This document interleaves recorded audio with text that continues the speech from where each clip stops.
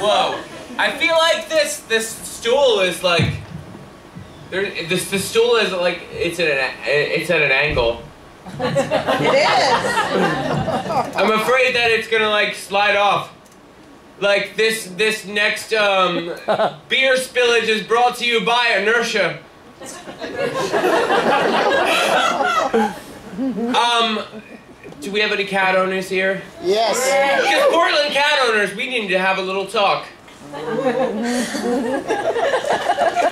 it's not like a serious talk. It's like cat owners in general. I've noticed lately, they've had this like, th- when they're naming their cats, they're they're naming them with cat puns, which is fine, but it's getting a little ridiculous. Look, I met a cat. At, I met a cat the other day named like, um, I didn't. Okay, I didn't meet a cat. My my um my um my relationship with uh, like animals is not that formal. I happened upon a cat. I saw this cat and it and it, it was a really awesome cat and I asked its owners like, "Oh, what's your cat's name?" Mr. Meow Stouffeles. That was the cat's name. They named their cat Mr. Meow Stouffeles. Mr. Meow Stouffeles is a cat pun within a cat reference. They named their cat using a meta cat puns. How do you sleep at night, you sick bastard? Also, what if you lose him? Are you just gonna put that like on a telephone pole?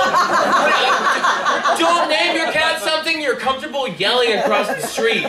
I'm just I'm I'm just so glad that these people were were just a cat owner and not a cat doctor.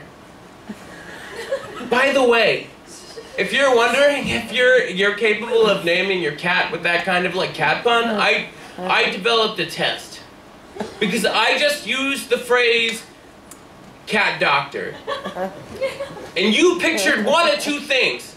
You either pictured a veterinarian, if you pictured that, good for you. but you may have pictured a cat in a doctor's suit. And if you pictured that, consider that a cry for help. I'm just so glad that these people that name cats like that are not veterinarians. Because, like, if you're obsessed with cat buns like that and you're a veterinarian, that's gonna translate into the worst bedside manner. We're, I'm so sorry, but Felix, he's come down with a case of feline meowlinoma. Third stage, at this point, it's inoperable.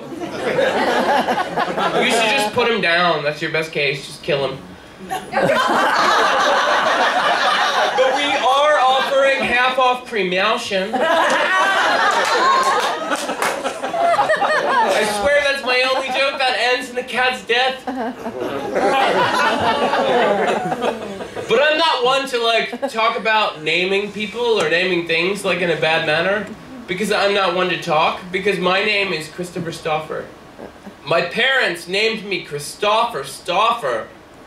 like no one no no one deserves to be named with that kind of repetition like Christopher Stauffer.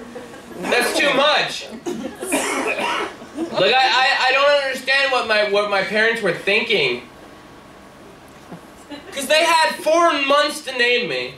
I know that sounds weird me saying four months, but I was an accident. And I was also a preemie. they had four months to name me, and then they chose Christopher Stauffer. like, um...